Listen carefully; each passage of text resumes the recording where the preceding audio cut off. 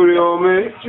Uh, design the design the headquarters, man. Design the headquarters. ENT, man. Free ball, man. Already. Yeah, we really couldn't. I really wanted to name the studio Simply Studio, but them folks consider that shit as a name.